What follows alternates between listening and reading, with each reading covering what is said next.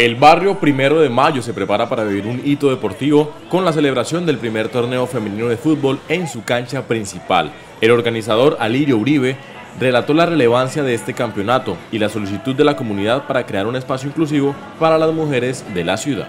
Debido a la necesidad que nuestras mujeres nos han manifestado sobre querer jugar fútbol acá en Barranca Bermeja porque casi no hay torneos de fútbol, la Juntación Comunal del Barrio Primero de Mayo eh, quiere hacer esta invitación a todas nuestras mujeres, a todos nuestros equipos de fútbol femenino para que participen en la primera Copa de Fútbol Femenino categoría abierta Barrio Primero de Mayo. El viernes 9 sobre las 7 de la noche se llevará a cabo el congresillo técnico en el Salón Comunal del Barrio. Durante este encuentro se determinarán los clubes participantes y se establecerá el reglamento del campeonato.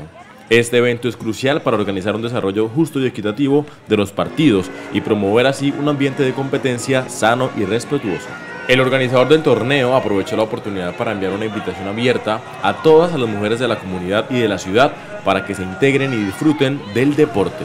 La creación de este torneo representa un paso importante hacia la inclusión y la equidad de género en el ámbito deportivo, brindando a las mujeres la oportunidad de demostrar su talento y pasión por el fútbol.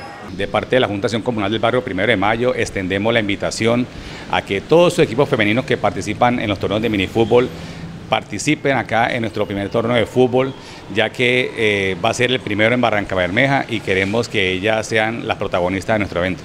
Este torneo femenino de fútbol en el barrio Primero de Mayo es un ejemplo de cómo el deporte puede ser un motor de cambio social y una herramienta para promover la igualdad. Con este evento se espera que se abran más espacios para que las mujeres desarrollen en el ámbito deportivo y se rompan las barreras que limitan su participación.